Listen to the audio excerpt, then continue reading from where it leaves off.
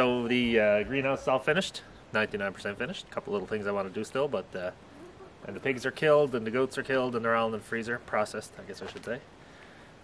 Uh, so it's on to the next project, which uh, I'm a little nervous about. My, as I've said before, my carpentry skills are not the best, so. Uh, but you're not going to learn if you don't do something, right? So uh, I'm going to clear all this wood from over here, my wood pile. And I'm going to move it temporarily over by the chicken coop, and then we're going to. Uh, I'm going to try to build a little pole shed here, just as practice. And if it goes really well, maybe I'll build a pole barn uh, next summer, so we'll then be able to keep animals over the winter. Uh, so yeah, I'm just going to move the wood now today.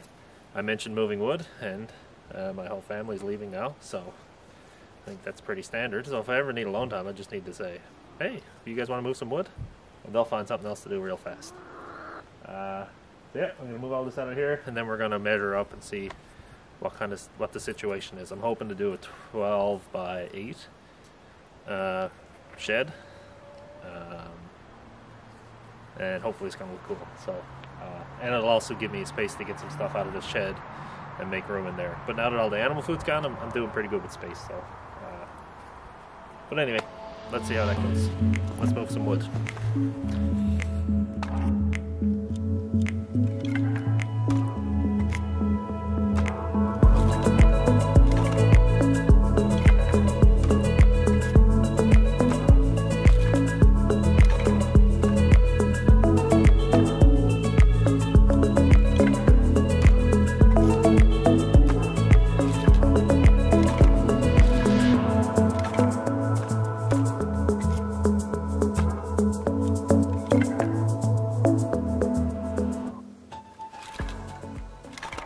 Okay, so uh, I got the wood stacked up here.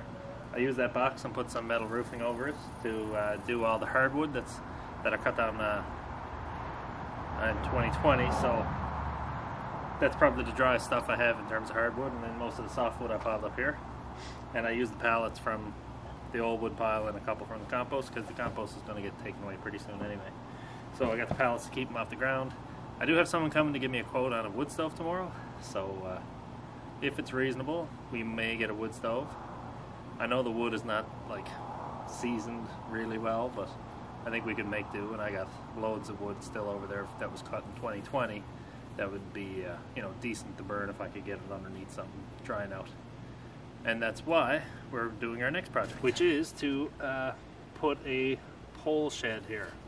So in this area where I had my wood piled up. Uh, moved over enough so I'll be able to get my gate open to, to the pasture. We're gonna I'm gonna attempt to make a pole shed. My original thoughts were to make it about 12 by 8.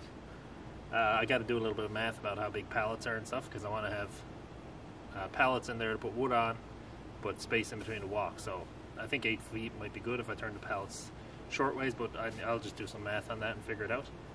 And uh, I still have some metal roofing left over, like I have on the uh, what I had the pigs in and the goat the goats were in. So I'll be able to use that, but it's going to be along here. Got some more hardwood there to, uh, from my pruning earlier in the year that I'm going to chop up as well.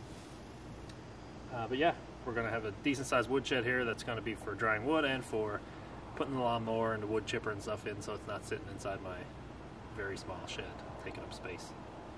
Um, and it's going to be, like I said, the experiment of if it works out half decently, then I'll probably make a pole shed barn uh, next summer uh, so that I'll be able to overwinter animals because I want to get sheep and I want to get uh, breeding sheep so that I don't have to buy them every year.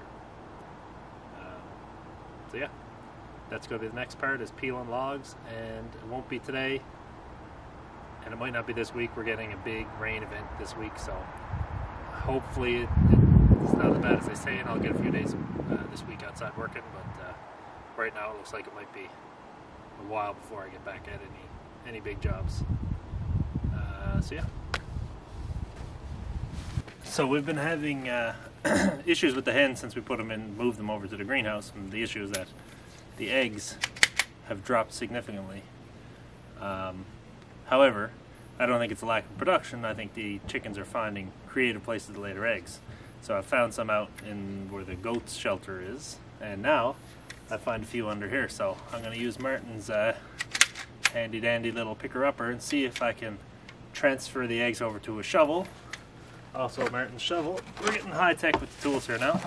I'm gonna try to transfer the eggs over to the shovel because they're stuck way inside of there. So I don't think it's gonna work. I think I'll break them, but I need to put something along here to stop the chickens from coming in to, uh, to lay. So there are there are the eggs in question.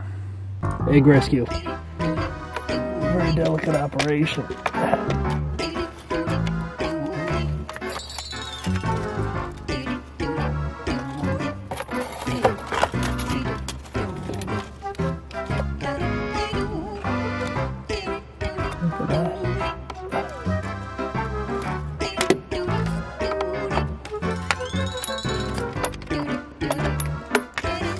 One. Oh, look, more than I thought. There's another one. There's another one. So, we'll pull that out and see. Yep, yep, five eggs I got. Nice big one too, one of them. So I'll just have another quick peek around in here and if, uh, if there's no more eggs, I'm going to block it up.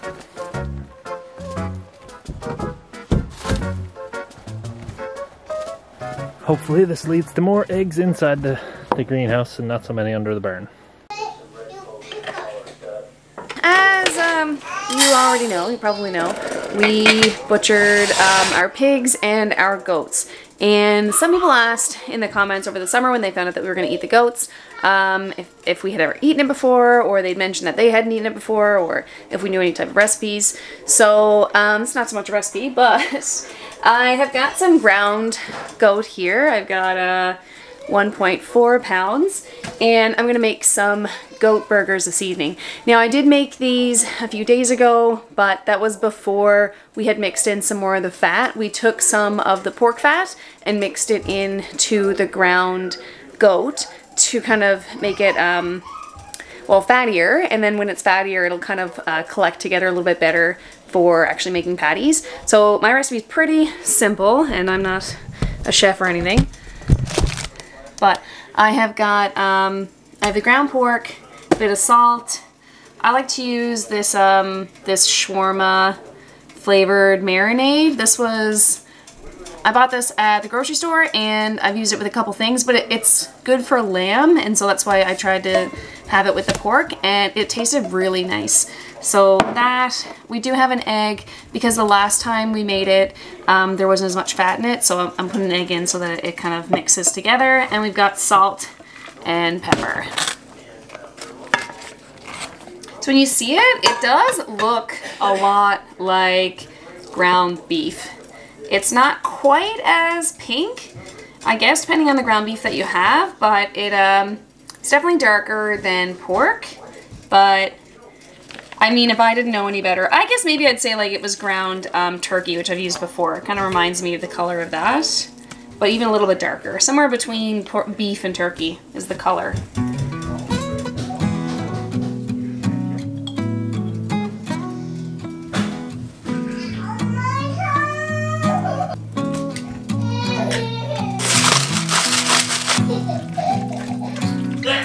Um, I have it all mixed in. It's sticking together pretty well. Um, looks like the patties are definitely gonna like be really well stuck together. I don't even know if I would have needed the um, the egg, but it's in there anyway. There's no problem with that. I'm just gonna heat up my pan and form the patties. I'll make kind of smaller patties. I think this will make about about four because we have four buns. I really like, well, we all really like these uh, these brioche buns. I got these at Walmart, but they're so good. Cannot make a better bun myself, so those are the ones we buy. They definitely don't stick together as well as like a, uh, a beef burger would, so I guess it is good that I use the, uh, the egg. I think it's because there's a lot more moisture in them, just, just I guess because the way that we had processed them. Alright, as you can see, we have got um, three in the pan, and I still have more ground beef here, probably enough for about three more, so I guess we can get six kind of small burgers out of this, so I'll cook them all now, and then I take the uh, the other cooked burgers and use them in wraps or something tomorrow for lunch or, or whatever.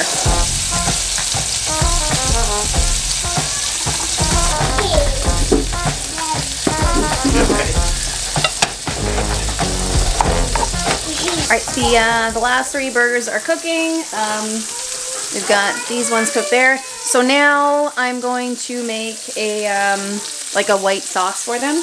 Normally I do this with yogurt, but I forgot to get yogurt, so I'm going to use sour cream and tahini, garlic, and cumin. Um, and it's like a, a bit of lime juice. So we'll see how it is with sour cream because we've never had it with sour cream.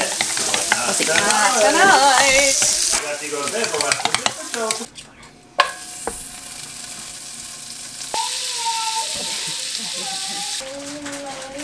Alright, one of the most important parts of uh, this recipe is that you toast one of these buns in way too much butter. They're not so great if they're not toasted, but if you toast them in butter, they're so good. Sir. Just the double patty. Do you want sauce in between the patties or no? Maybe, because it's not going to be wet otherwise, right? Yeah.